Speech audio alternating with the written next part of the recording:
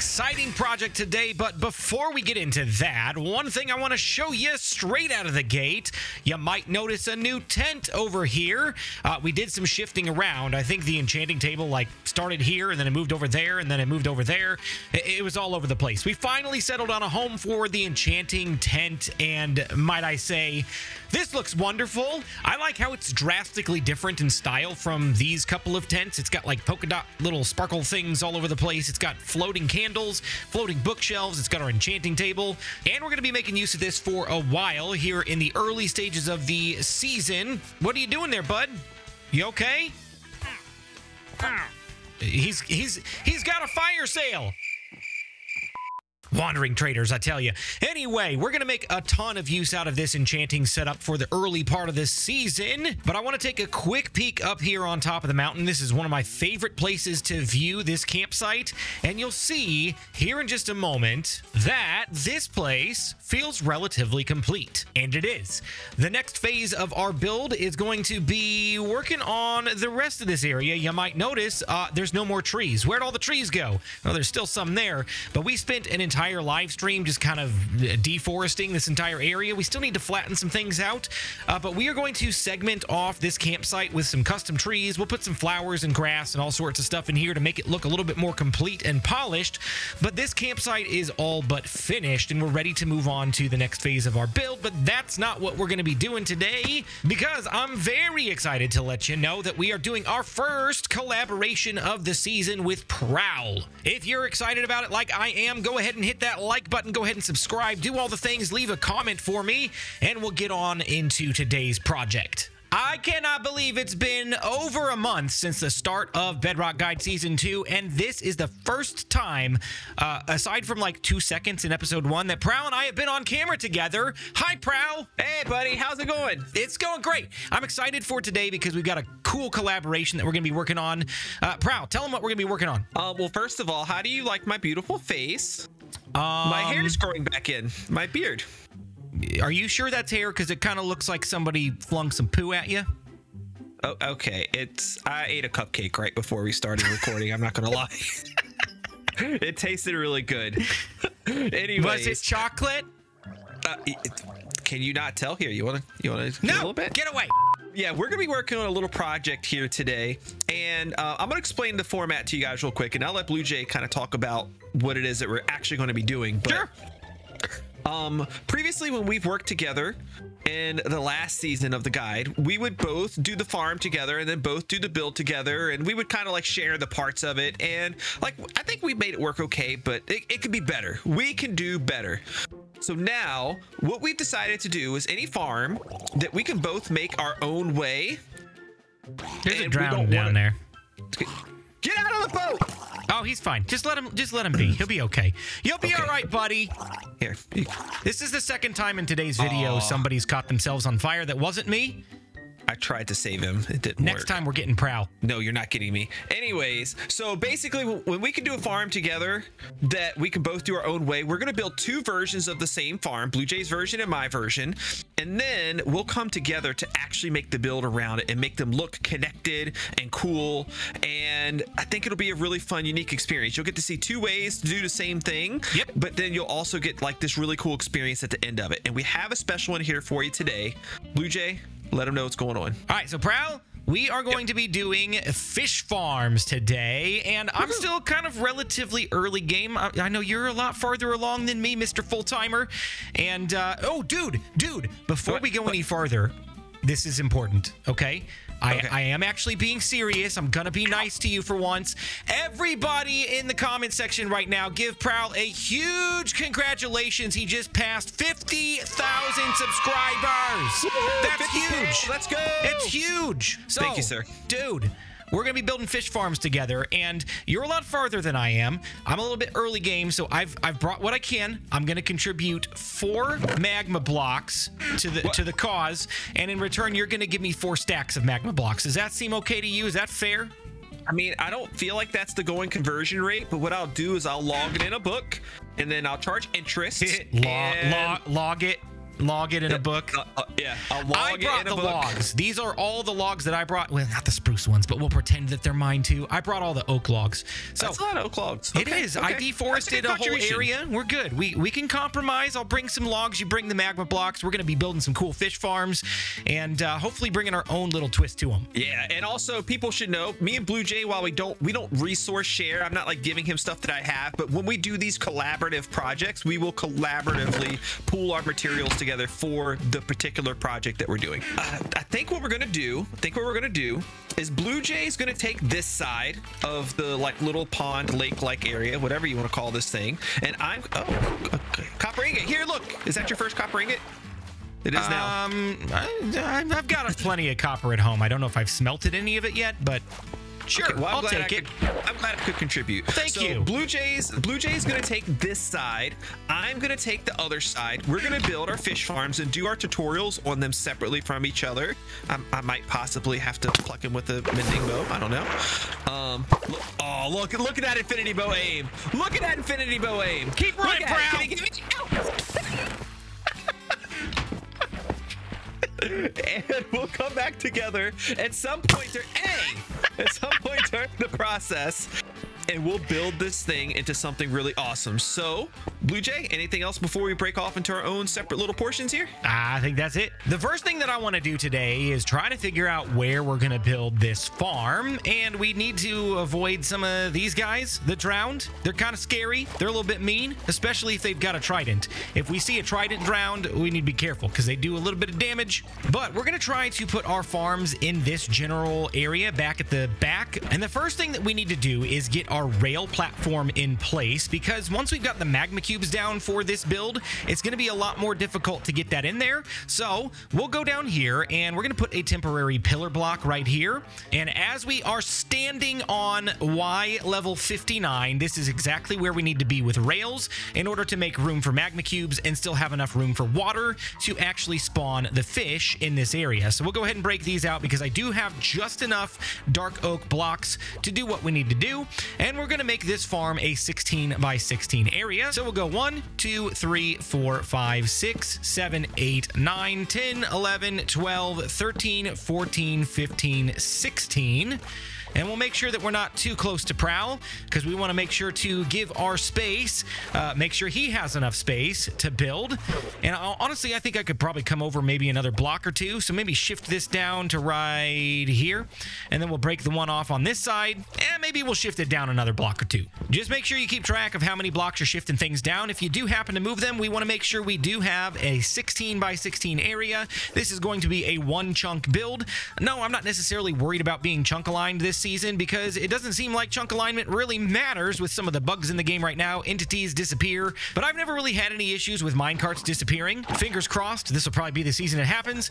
But let's go ahead and make this 16 by 16 area. Uh, one thing while we're filling this in, I did want to make you aware of that fish farms have actually changed with the release of Caves and Cliffs Part 2. You used to be able to go to a river biome or an ocean biome and build uh, your farm up in the air as long as it was within the biome.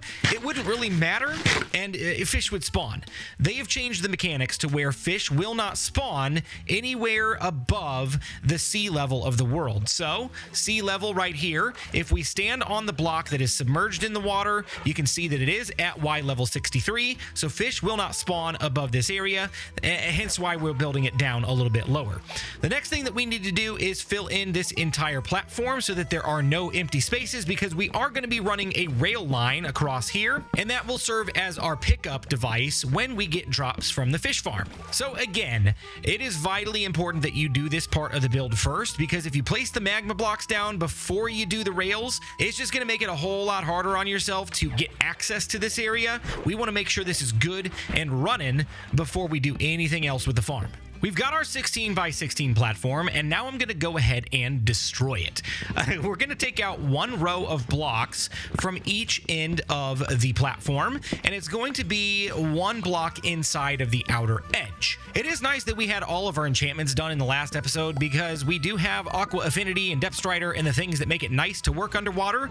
I would not suggest trying this farm before having those things unless you've got like a conduit or something. But if you let's face it, if you've got a conduit, you probably have enchantments by now. You just want to make sure you've got enough ability to stay underwater for a decent amount of time so that it's not going to affect your workflow because uh, it can be quite a bit slower if you don't have these nice enchantments equipped. In the place of the dark oak that we pulled out from the platform, we're just going to do a solid row of redstone blocks.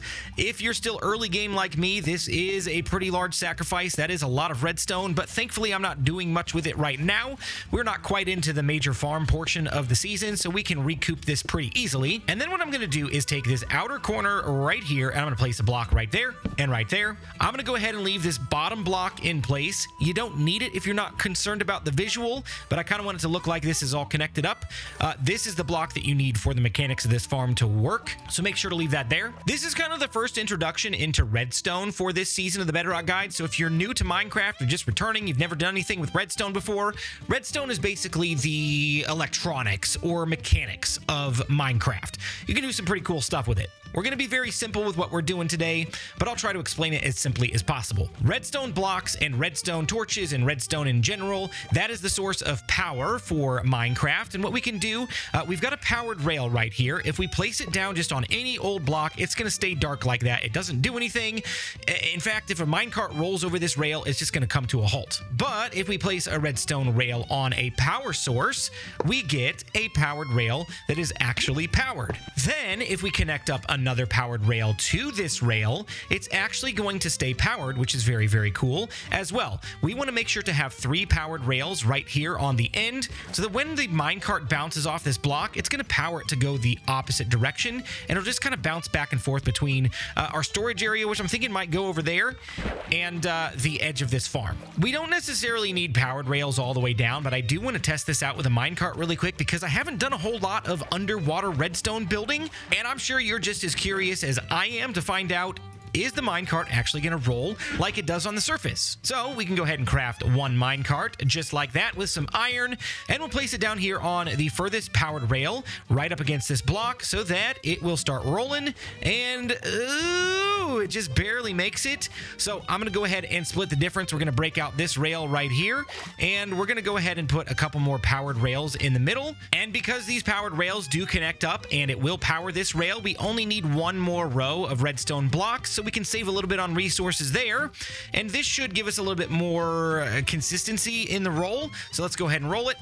Yep, we got the power pushing it on through, and I'm pretty comfortable with that rate of travel. So we get down here to the end of the row, and we got to bend this rail around the corner because it can't just go straight off into oblivion. We need it to stay on the platform. So regular rails you can curve, powered rails you cannot. So we'll take two regular rails like that, and it will curve them around. But then if we go ahead and place a powered rail down here, it will curve it on around again, and it'll just do a little bit of a U-turn. Then we can follow this same pattern, powered rail, powered rail, regular rails all the way way around, regular rails all the way to the end. And I think I'm going to make this one a regular rail. I guess technically we don't even need the powered rail here. We'll go ahead and break that and put a regular rail down. Oh no! Be careful with rails. They're very annoying. Sometimes they don't go where you want them to. And then we'll go ahead and put a powered rail here. And because of the way that rails work, if we place a regular rail down here, it's going to curve it into that powered rail because it's it's there. We don't want that to happen. So what we can do is place a regular rail here, a regular rail there, and it will force it to go into this rail because it's a little bit more accessible. Then we'll go ahead and do the same thing. We'll run the rail line all the way down. We'll just kind of weave it in and out until we have rails all across this platform. This is the point in the video where BluJay uh, pretends that he didn't make a mistake, and we just move on. Whoops. So if I would have done my maths correctly, uh, I wanted the end of the rail to come out this way, but um, that that that's not happening. And because i want to do it right i'm not just gonna be like let's just run another uh, set of blocks along the side here and waste more resources that we don't have. I am gonna reverse this whole thing. So we actually need to move this over and we need to put it back here and then we need to redirect all of these rails uh, to end up here it shouldn't be too hard. We just kind of have to reverse the flow a little bit. So let me fix that up. It's the same thing that we did before, just in reverse. And then we should have our rails coming out on that back corner over there. So we're sitting here at the top of this little hill, ready to go down underwater. This didn't used to be the case, but minecarts, for quite a while now, have been able to travel underneath the water, and it used to be a Bedrock Edition exclusive, uh, and now Java Edition can do it as well, I believe. Correct me if I'm wrong in the comments, but here we go. We're going to go ahead and go down the hill, and you can see the minecart still rolls, and we will make it all the way around the track, back and forth, back and forth, back and forth. Wow, Prowl's cooking along. He's getting stuff on his platform already. He's way he's, he's way far ahead of me. We need to get moving. Here we are just goofing around, riding around in a minecart, but it's fine. Once we get all the way to the end of the platform, we will bounce off the wall and we'll head all the way back down this way. Hi, Prowl. Hello. Look at me. Is this like whack-a-mole? Get out of here. Got him. Anyway, we'll make our way back up to the top here, and that's where it's going to stop for now. We want to make sure we get all of the spawns possible, so what we're going to do is we're going to place magma cubes down next, and uh, this is the easy part. If you just place the magma cubes down directly on top of the rails, it will automatically leave an air gap in between because technically this rail... Ow! Get out of here. You're next. As I was saying, if you place a magma cube down directly on top of the rail, this rail technically acts like it takes an entire space of a block, uh, so nothing can go directly on top of the rail. This is technically directly on top of the rail, which is nice because it leaves room for minecarts to flow underneath this platform. And this platform is important because this is going to be the killing mechanism for all of these spawns. So I'm going to go ahead and place the same pattern all the way around a 16 by 16 area of magma cubes. And then we'll talk a little bit about why this works the way that it does. Magma blocks are actually one of a couple of different blocks that makes water react and cause bubbles to form. With magma blocks in particular, they actually pull things down directly onto them. So here we go. We're standing on it, and you might notice we're taking some damage. The reason why we take damage is because magma, it's actually pretty hot. It would damage you in real life, so it does the same thing in Minecraft. And as you might notice, we've actually already had a few things spawn on the platform. We've got some fish and we've got some bones here. Whenever the fish or squid decide to spawn on this platform, they will be pulled down directly onto the magma blocks. When they take enough damage, they will drop fish and bones and ink, and they will just kind of sit there. This is why we built the minecart track. Minecarts are good for more than just letting us take a joyride. I'm going to take some planks and I'm going to craft one chest. And then I'll grab a little bit more of my iron. And with that iron, you need five to be exact. We're going to craft a hopper. And then we're going to take the hopper and place it right there. And then we'll grab a minecart, place it right there. We have a minecart combined with hopper. This is where some of those video game mechanics come into play. And this wouldn't actually work this way in real life. But uh, the minecart with hopper does something really cool. When you place it down on the track, it'll start rolling, rolling, rolling. We see we've got some drops on here. It will actually suck the items through the floor into the hopper. And it will collect them and keep them there. You'll see them slowly disappearing. We'll watch these here for just a second.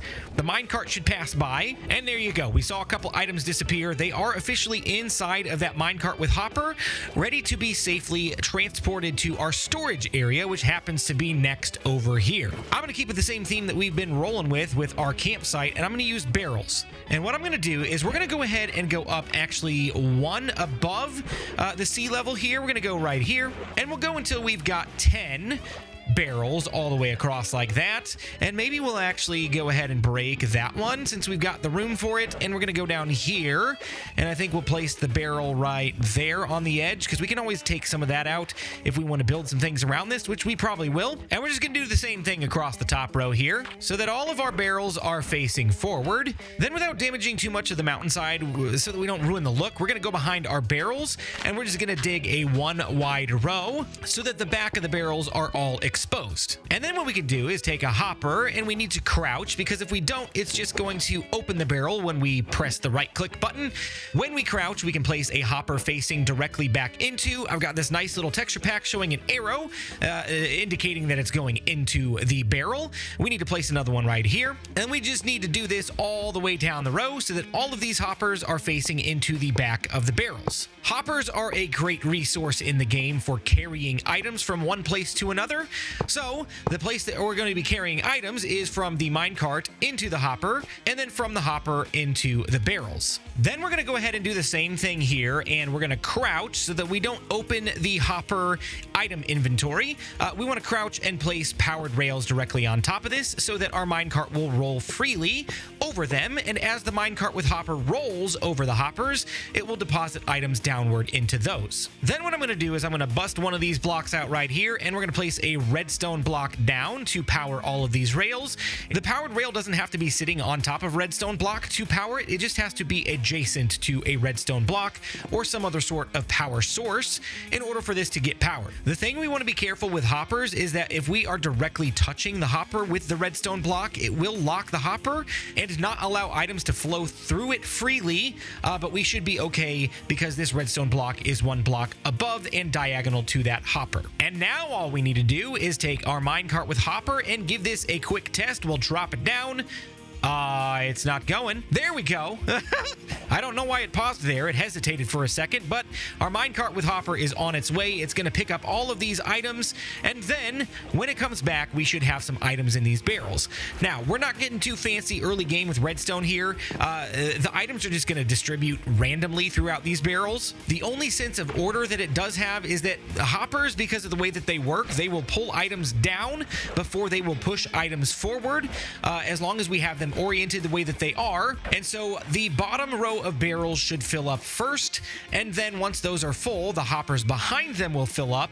And once no more items can be pulled into those hoppers, they will start filling up the top row of barrels. I don't know how long this is going to take to fill this up because uh, there's quite a few barrels here, 20 to be exact. But there's one more thing that we need to consider before we call this farm complete from a mechanical standpoint. We need a spot to go AFK. If you don't know what AFK means, it's basically away from keyboard. It means we're going to stand at this farm while we're not playing. Maybe we're off having dinner. Maybe we're taking a nap and the farm is running automatically. So here's how we're going to determine the location of our AFK spawn platform. We need to keep in mind that our platform is 16 blocks wide. So I've done a little bit of maths and if I've done it correctly, I'm calculating that about 29 blocks above the magma cubes is where we want to be. The difference between this magma block platform and the highest level of land that is submerged in water around this area is four blocks. So if we go 29 blocks above the spawn platform here, we should be able to maintain the 16 by 16 area of spawnability while pushing this level directly out of the spawnable area for fish. Does that make sense? If not, it barely makes sense to me. So you're not alone. Just know we're going to try for 29 blocks and make sure that we get some spawns.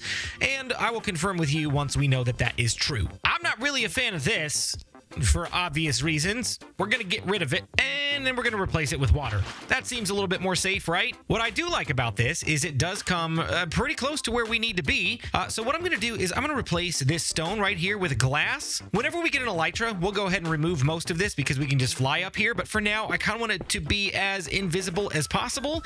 But Y level 80 is where we're looking to get our uh, AFK platform going. So we'll go all the way out here and we'll make sure that we are smack dab in the middle of of the farm. And unfortunately, we're out of glass. All right, we've got some fish spawning. The only problem is we've got Prowl over here running around, and uh, it, it, might be causing a little bit of a, a, a misfire in some of our spawns. Uh, so we're not going to test it too thoroughly right now. I am going to leave AFK a little bit later. But one thing that we want to do to protect the farm from fish like this escaping from the platform is we're going to box it in. I've got some spruce here, and we're just going to do something like this. We're going to to place a temporary block right here, and then we'll place a temporary block right here. And then we're just going to go down the line like this, sideways, and then another temporary block, and we'll frame it in all the way around. All right, there we go. That should keep all of the mobs in and all of the unwanted things out. Maybe we'll go ahead and do what Prowl did over there, and uh, we'll, we'll put some pillars up here just to give it a little bit more structure. I'm not going to do any decorating just yet because I do need to figure out a good design. But one thing I am going to do to polish this up a little bit is we're going to go ahead and go around and strip all of these logs, and then I'm gonna spend a little bit of time AFK, seeing how this thing works. Hey, look at Prowl way up there. How's he getting spawns? This is the point in the video where I tell you, don't ever try to do math on the fly while you're talking and thinking about farm mechanics and all sorts of things all at once, uh, because you might mistake 29 blocks with 19. I know some of you have been screaming at me for the last several minutes. You're not 29 blocks above the platform. BluJay, do your math correctly. We're gonna move. Hang on. Hey, that's more like it. We're officially 29 blocks above the fish farm at this point. And as you can see, we got fish spawning. That's fantastic. Now, we still have a few fish swimming around the lake here uh, that were spawning when I was traveling up and when Prowl was traveling up. They will despawn at some point. It might take a little while for them to go away, but at that point, we will get some maximum efficiency from our fish farm because nothing else should be able to spawn down in the water. Hey, look at that. We got a squid. We got a squid. So I think we're pretty good at this point. 29 blocks above the fish farm. We should be getting maximum spawn rates at this point, And we're just going to sit here for a while and see what we can get. So, some things have happened. It's been a while since the last cut. And me and Blue Jay, we're live on stream right now. And we've done some stuff, haven't we? A lot of stuff. I mean, we haven't done a lot. It's been a little bit. Like we we threw a few logs down, a few threw a few slabs down, some lanterns. It's nothing major, but you want to take a look at it? It's exactly as I said, Prowl. It's it's nothing. Yes. It's nothing major. nothing, nothing big, nothing crazy. Nothing big Oh, at all. is- so I love the way this turned out. Prowl. This is a, a winding staircase, right? Super, super cool. Yes. That is not intended to be like efficient with downward travel, but make use of the space available, right? Because it is a mountainside. We got to make sure that we're traveling down the mountainside correctly.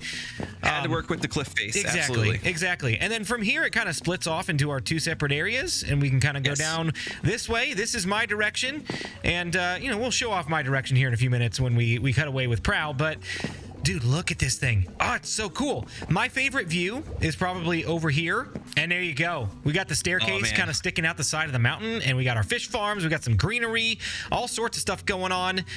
Oh, it looks so good. It looks so good. Not only does it look good in normal mode, it looks even better with RTX turned on.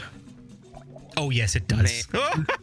Man, oh man, this place turned out so good. Yeah, and the sun's about it. to go down too to show what this place looks like at nighttime. While we're waiting on the sun to go down, Prowl, why don't you talk a little bit about the decisions that we made with uh, why we used the specific wood types that we did? Yeah, so just to kind of touch on things kind of briefly here, we went with woods that kind of looked like they were more like saturated with water and wet in areas that are touching the water. So you can see like the strip spruce logs look like they've like they've been worn over time just by the water here.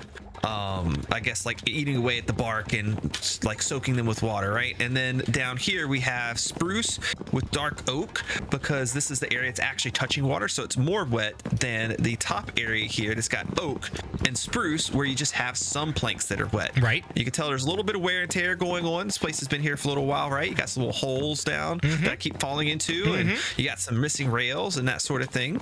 Uh, another thing that we kind of considered with our build is lighting. Uh, we play with RTX mode on uh, a lot of times. I like to use it when I'm not recording. I don't use it often for the uh, for videos, just because that's not the experience for a lot of players. But I do like to look at it in RTX, and we kind of made some decisions with lighting to make sure that one, it lights it well, and two, that it's not just spamming lights all over the place because that does look a little bit too uh, too saturated, too busy, whatever. And I think we found a good balance with how much lighting that we need to use to to light it sufficiently for RTX, but also not make it look too busy. So uh, we hung some lights from the uh, the beams on the staircase. We put some lights over on the floor. It just wherever we could throw lights, we put lights down, and I'm really happy with the outcome. Yeah, very like unsymmetrical, unorganized fashion. Kind of just like, you know, they were just hanging lights as they built things up when they were building this place in the first place. Just to kind of like the and do the construction and just make sure there's enough light in the areas where there's nothing is too dark, basically. BluJay, this place looks absolutely like majestic at Oh, it's so cool. Look at this. Just, just the magma blocks alone illuminate the area. And then we got our lanterns and the beautiful water, the lava reflecting off the water back there. Everything is just, oh, so good. yeah. It, it really it really does look good. And if you like it so much, you should probably go down there and take a look. Ow. I don't care. I'm not even mad. Oh, Prowl. Oh man, So beautiful. This- I'm gonna. I'm, you know what, sir? What? Job well done. You too. I'm going to turn off my HUD for a second just so we don't have the little hot bar uh, uh, conflicting with a beautiful view here. This is so, so good. I'm so happy. Yeah, it turned out really good. Awesome, dude. Good job. You too. High five. With our RTX pack still turned on, I want to go over here and check out my storage area since we are done hanging out with Prowl for this episode. And I'm pretty happy with how it turned out. We did a lot of detailing, but check this out. Boom! Almost full barrels all the way down the bottom row. And uh, that's only going to get even more full as time goes on. And we're going to have to go ahead and take some of this stuff out to use it. I'm mostly concerned about the bones early game, but this is not a bad thing to have either.